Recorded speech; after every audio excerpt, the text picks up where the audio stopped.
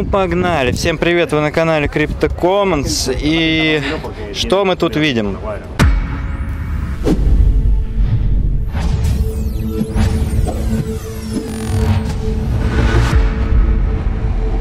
Давайте посмотрим на биткоин.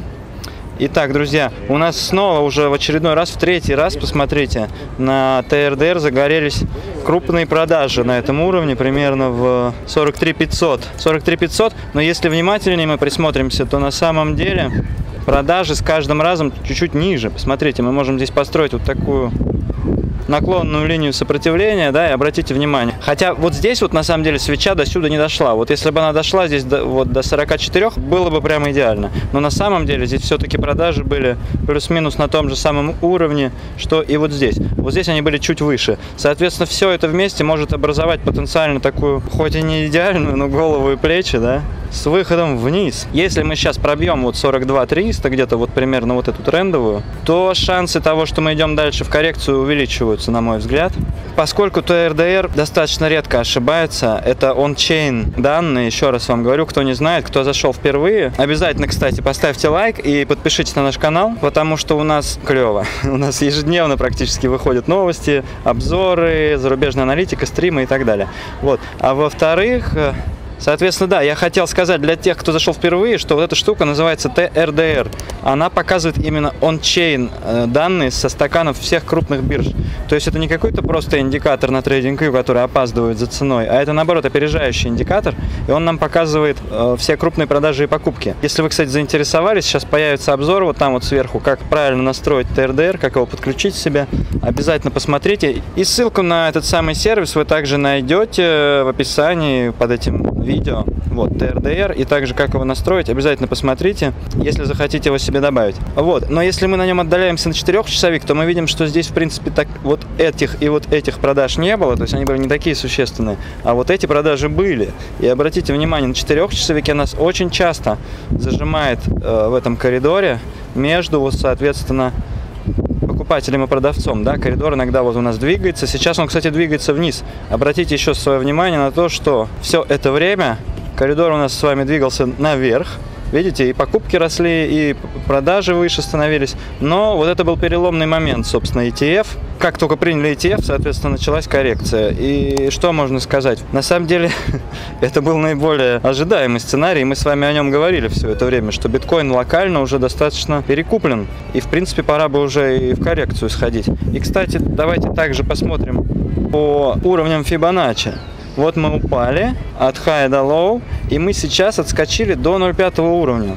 То есть, в принципе, статистически высока вероятность, что мы прям либо отсюда, либо от 0,61 уровня, который сейчас находится на 44 900 примерно, что мы от него дальше и продолжим даунтренд. Если, опять же, вот это был локальный пик, и мы увидим более серьезную коррекцию, то вполне ожидаемо будет развернуться где-то вот здесь. Так что смотрим сейчас за этим уровнем, за тем, как поведет себя биточек. И обязательно, кстати, проверяем еще, подписаны ли вы к нам в Телеграм, потому что у нас в Телеграме гораздо больше инфы, которая чаще обновляется ну, допустим, даже видео сделать, понимаете, или выйти в стрим, это занимает несколько часов. А в телеге мы пишем буквально сразу, так что обязательно подписывайтесь туда тоже. И вот что еще хотел сказать, что с этих самых пор, как ETF одобрили, у нас образовался уже нисходящий канал по покупателям и продажам, так что вполне разумно ожидать чего-то такого, я думаю.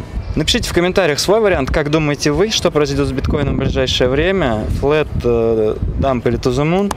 А я пока вам хочу еще напомнить кое-что другое. На бирже DeepCoin стартовало специальное торговое состязание именно для нас с вами, для Crypto Commons. Посмотрите, оно только началось и продлится еще 26 дней, до конца февраля, до 29 февраля. Биржа DeepCoin, если кто не знает, это новая биржа, но она уже 14 место в CoinMarketCap по объемам. Тут достаточно хорошая ликвидность, здесь есть много инверсных пар всяких, Bitcoin Cash, Litecoin, Link для альтходлеров. Вот, собственно, ими я сейчас здесь и торгую.